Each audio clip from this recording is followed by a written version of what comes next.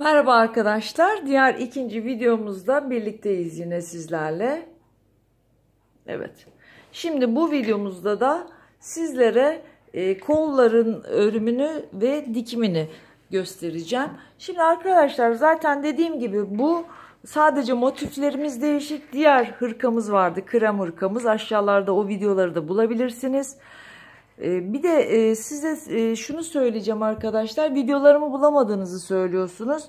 Bazen YouTube'a girdiğiniz zaman aramalarda Handa'nın örgüleri diye yazdığınız zaman e, resmimi göreceksiniz. Resmime tıkladığınızda kanalımı açılmış olacak. Ve orada 3-4 videoyu gösteriyor öncelikle. Sonra arkadaşlar yukarı tarafta videolar yazan yere tıkladığınızda tüm videolar açılacak size. E, aşağı yukarı 50, 50 taneden fazla videom var. Çantalar, hırkalar, işte yelekler, bütün hırka şeylerimi, videolarımı orada görebilirsiniz. Dediğim gibi aşağılarda diğer hırkamız yapmıştık, krem hırkamızı.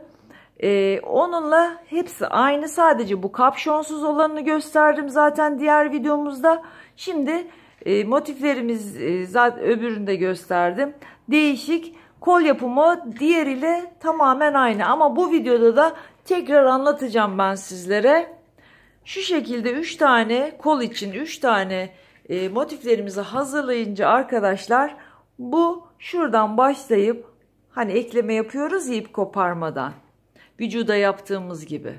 Şu şekilde buradan başlıyoruz ip kopartmadan bunu kollarımızı birleştiriyoruz.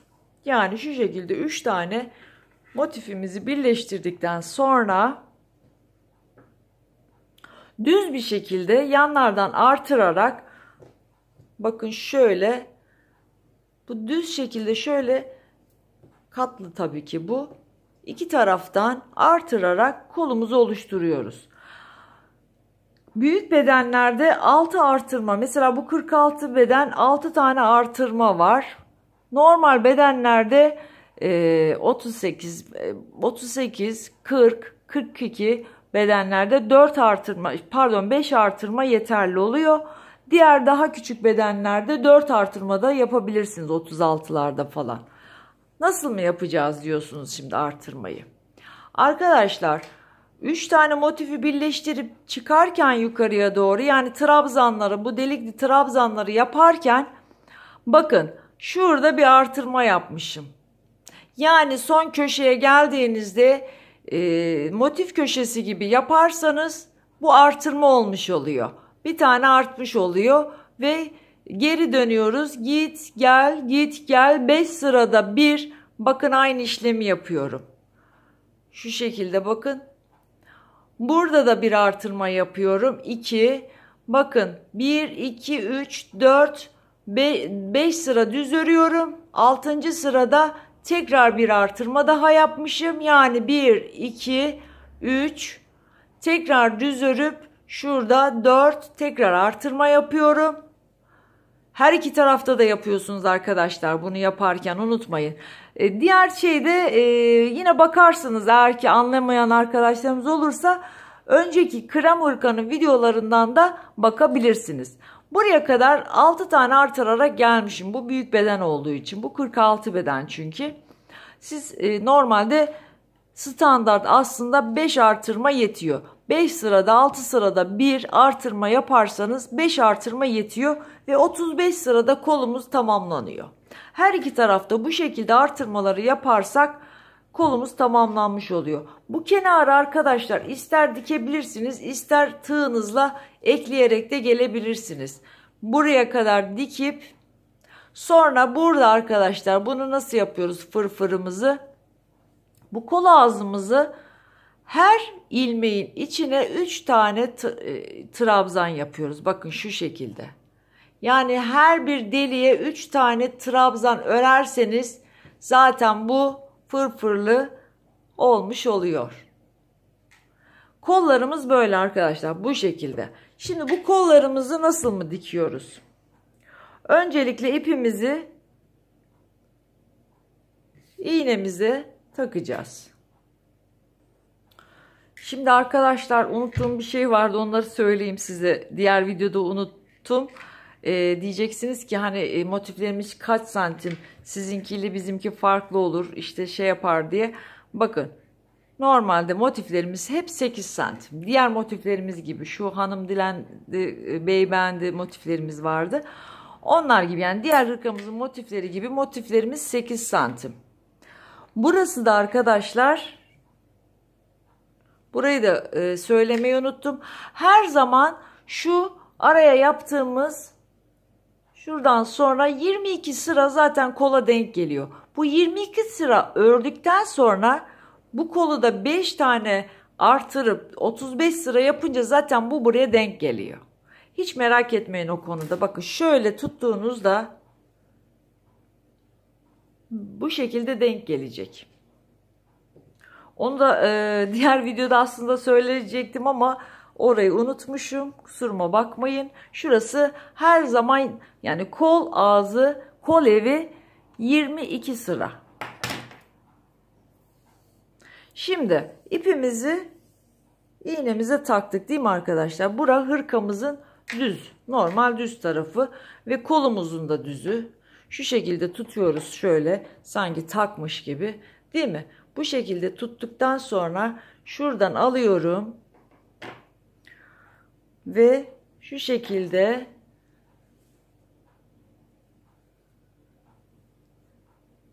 tersini çeviriyorum. Bakın kol böyle dümdüz şöyle koydum. içeriden bu şekilde aldım ve bunu düzeltiyorum. Tam üstünü şu dikişin oraya getirerek buradan bir siz çatal iğne de takabilirsiniz. Yerinizi kaybetmemek için ve son şu dikiş yeri yani aşağıdaki kolların dikiş yeri şu alt köşeye de getirip şu şekilde tutuyorsunuz arkadaşlar. Bakın burası hırkamızın tersi olmuş oluyor. Bakın şöyle çevirdik. Kol içeride kaldı. Şu şekilde yapıyorum. Şimdi bunu ucu uca getiriyorum. Yani şu e, dikişi tam kenara getirdim. Ve iğnemi taktım. Nasıl ki omuzlarda yapmıştık ya arkadaşlar. Hiçbir ilmeğin karşıdaki ilmeğe yani koldaki ilmeği atlamadan her bir ilmeğe iğne ile dikiyorum. Bakın. Kolun karşı kısmındaki ilmeklere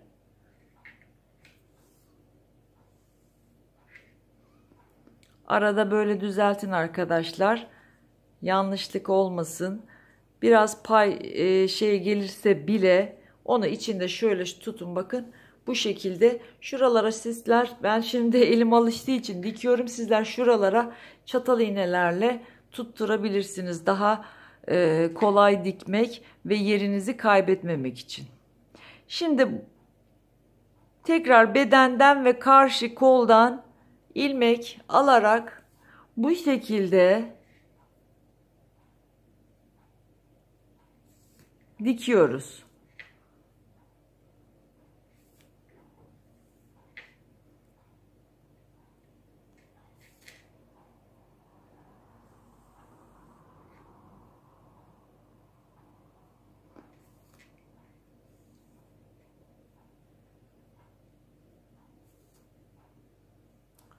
Bura hırkanın ters tarafı. Şöyle tutuyoruz arkadaşlar bakın. Burayı düzgün bir şekilde sona kadar tamamen şuraya gelene kadar dikelim. Sona geldik. Bakın böyle diktim arkadaşlar. Her bir ilmekten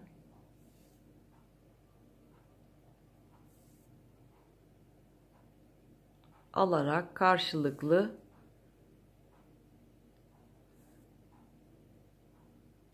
koltuk altına kadar dikiyoruz. Ve burayı biraz pekiştirelim birkaç dikiş atarak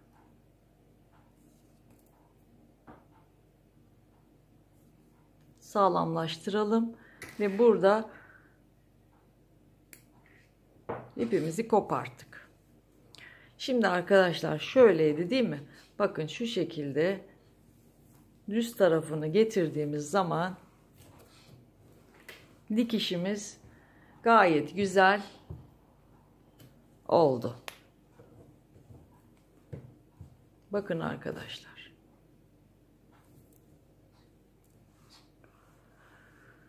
Dikim işlemimiz bu kadar. Bakın içine kesme var. Ne yakada kesme var. Hiçbir yerde kesme olmadan arkadaşlar hırkamızı diktik.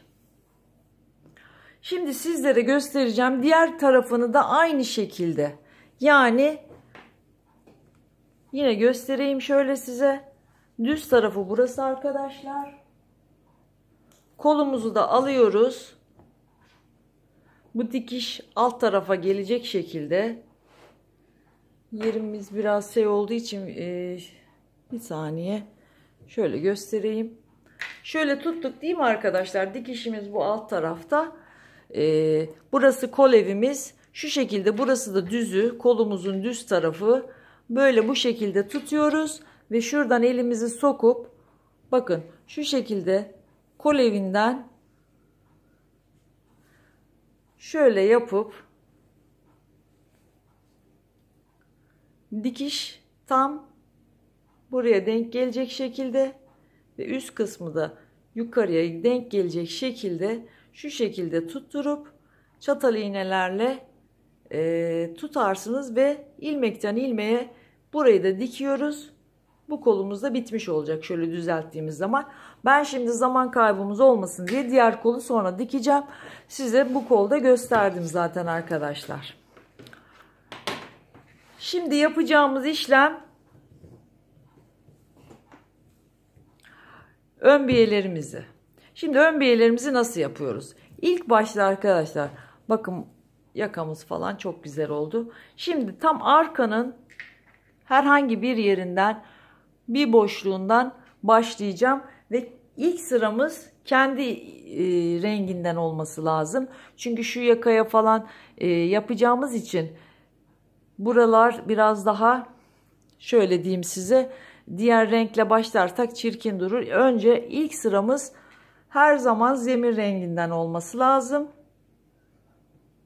Şimdi her e, herhangi bir yerinden başladım. 3 zincir çekip 3 tane doldurdum. Şöyle. Biraz daha rengini açalım isterseniz. Ve aralar hep bir zincirli arkadaşlar. Bütün boşluklara 3 tane trabzan yapıyoruz. Zaten bu o, birleştirme yerimiz yani motiflerimizi bunu yapmak çok kolay. Şuralar önemli olan hani şuralara nasıl denk getireceğiz diye onu göstereceğim şimdi sizlere. Burayı yani motifli olan kısmını 3 tane trabzan yaparak bu şey aralarda bir zincir çekerek bu şekilde ta ki şuraya kadar gelelim arkadaşlar şöyle.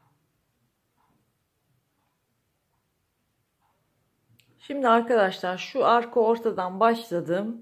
Düz bir şekilde. Bakın ilk sırasını geldim.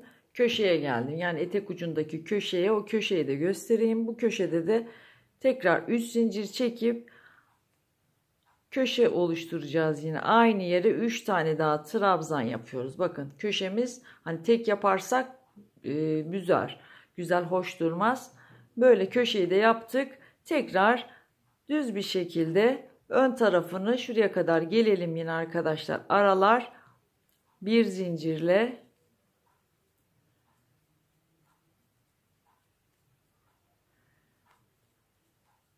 şuraya kadar gelelim tekrar.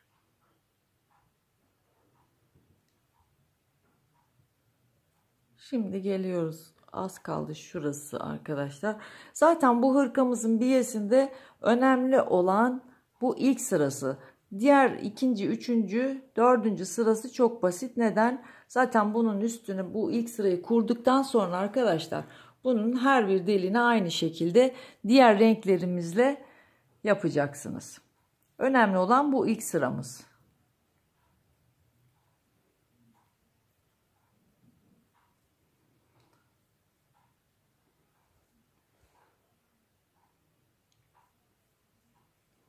Evet. Şimdi geldik buraya. Buralarda da arkadaşlar yine bakın.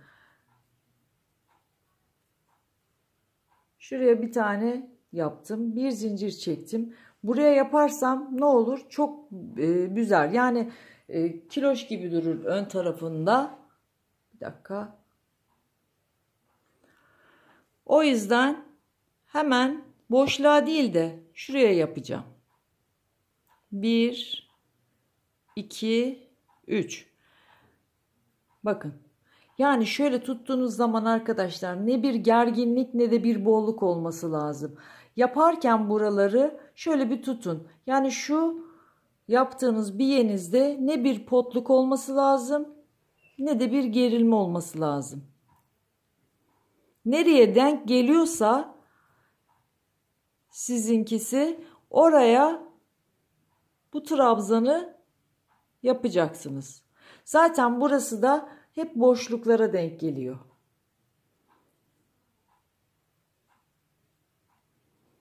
Şu şekilde. Bak. Düz bir şekilde çıkıyoruz. Görüyor musun arkadaşlar? Bak burası ön biyemiz.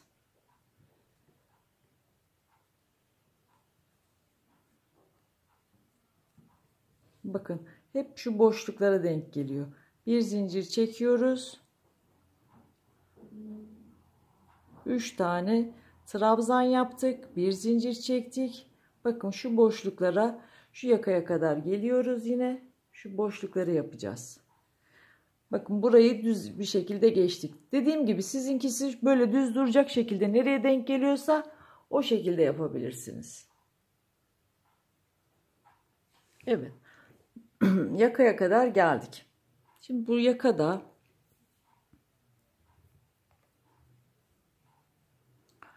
arada tek zincir çekip son deliğe de 3 tane trabzanı yapıyoruz arkadaşlar. 2 kere de çekerek trabzanımızı yaptık. Şimdi burada bir zincir çekip ilmeğimizi aldık.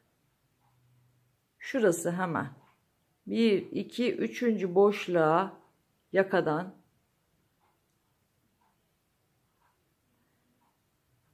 3 tane aynı yere doldurduk. Bir zincir çektik. 1 2 3 dördüncüye burada aynı yere 3 tane trabzan yaptık. Bir zincir çekip dördüncüye 1 2 3 dördüncü deliğine 3 tane daha trabzan yapıyoruz. Çünkü yakamız salmasın ve potluk olmasın diye. Bakın arkadaşlar yuvarlak bir şekilde döndü. Bir zincir çekiyoruz. 1, 2, 3, 4. deliğimizi. Dediğim gibi siz bunu bakın şöyle düz şekilde gidiyor. Siz bunu nasıl düz geliyorsa o şekilde de yapabilirsiniz. Dördüncü deliğimize 3 tane trabzanımızı yapıyoruz.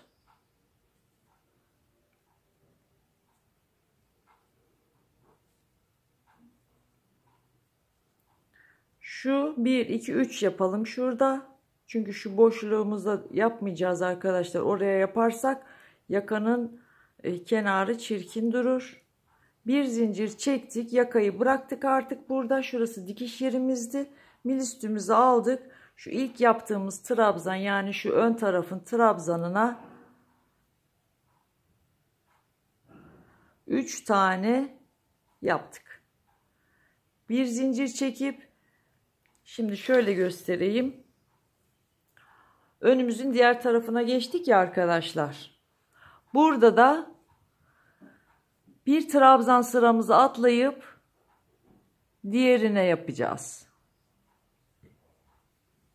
Şimdi burada hepsini böyle yapmayacağız çünkü e, trabzanlarımız belki uzun olmuştur. O yüzden şöyle tuttuğumuzda şurası düz şekilde gelecek şekilde nereye denk geliyorsa bir zincir çekip ilmeği aldım ya arkadaşlar bakın. Belki de şu iki trabzanın şeyin arasına denk geldi. Evet oraya yapacağım. Yani düz dursun nereye istiyorsanız oraya batabilirsiniz. Bir boşluğa geldi bakın trabzanın boşluğuna. Bir zincir çekip hemen yandaki e, trabzana denk geldi arkadaşlar. Bakın şöyle tuttuğum zaman bir zincir çekiyorum. Araya geldi. Bunu siz kendiniz göz ayarınızla şu şekilde yani e, olacak şekilde bakın böyle diğer arka ortaya başlangıç yerimize kadar yapacaksınız. Şimdi yakayı göstereyim size şöyle nasıl olduğunu. Bakın çok güzel muntazam şekilde bir yakamız oldu arkadaşlar. Bunu da dediğim gibi ta ki ilk başlangıç yerimize gelene kadar yapıyoruz. Şuraya kadar. Burada bu ipimizi kesip diğer ipimizi herhangi bir yerden başlayıp artık hiçbir işlem yapmadan bütün e, bu boşluklarımıza e, biyemizi yaparak 4 sıra biye gideceğiz. Renkleri zaten siz biliyorsunuz istediğiniz renkleri kullanabilirsiniz. Şu şekilde yine göstereyim. Şöyle. Evet kapşonsuz hırkamız bu şekilde arkadaşlar. Umarım faydalı güzel bir çalışma olmuştur. Şimdi bu taraflara gelirsem belki video e, kapasitesi almaz diye e, bu şekilde gösterdim. Zaten bundan gerisi bu tarafı da göstermiştim. Sizin yapabileceğiniz bir işlem. Dediğim gibi yine takıldığınız yerlerde yorumlarda e, sizlere yardımcı olacağım. Umarım güzel bir çalışma oldu. E, ben çok mutlu oldum bunu size göstermekle. Umarım siz de mutlu olursunuz. Hepinizi seviyorum. Hoşçakalın.